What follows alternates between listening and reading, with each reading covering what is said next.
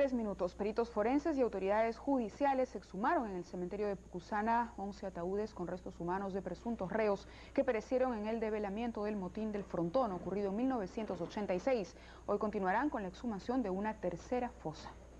Esa fiscal que dice que quiere esclarecer la verdad que nos entrega a nuestros familiares. Ahora Solo así, a gritos y lágrimas, una comitiva de familiares de víctimas de la matanza del penal del Frontón ocurrida en 1986. Lograron ingresar al cementerio de Pucusana, donde la fiscal Eliana Álvarez y forenses del Ministerio Público realizaban la exhumación de dos fosas con restos humanos que corresponderían a sus seres queridos. La impunidad es una tortura para mí, sí. ¿Usted cree que aquí esté su hijo enterrado? No lo sé.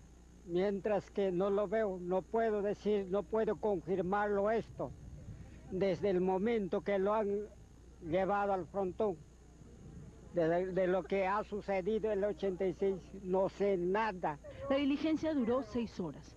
En dos fosas se hallaron restos de cinco y seis personas calificadas en el cementerio como NN. No se han encontrado cráneos, por ejemplo.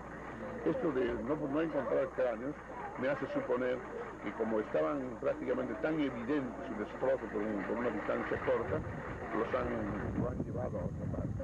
Y pese a que muchos lo niegan o consideran que allí no se enterró ningún cuerpo de reos de la matanza de los penales, surgen testigos claves en este caso, como este anciano, guardián del cementerio desde hace 40 años. Habían cuatro, uno que votaban encima y otros que recibían.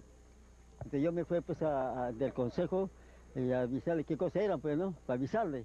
sin embargo, ellos me dijeron a mí que no me meta, porque me iban a matar por soplón. Se presume que en estas excavaciones se hallarían cerca de 60 cuerpos, los cuales tendrán que ser sometidos a la prueba de ADN. De comprobarse que las identidades corresponden a las víctimas del frontón, serán entregados a sus familiares, tal como lo reclaman.